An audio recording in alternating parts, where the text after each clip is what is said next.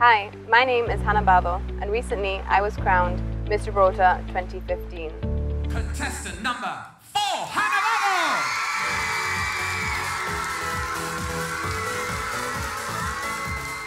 I am 22 years old and soon I will be given the privilege to represent a beautiful rock of Gibraltar in the Miss World 2015 pageant in Sanya. I work as a primary school teacher. I absolutely love teaching as I find it extremely rewarding. We as teachers help children learn and grow as unique individuals, providing them with crucial life skills for the future. Although English is our main language, the majority of Gibraltarians are bilingual, speaking both English and Spanish.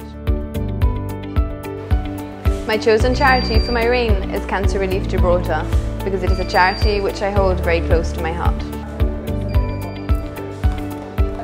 Today we are doing a family portrait session to promote my upcoming fundraiser event for cancer. I'm really looking forward to immersing myself in the Chinese culture, as well as sharing my own culture and background with my fellow contestants at the Miss World pageant.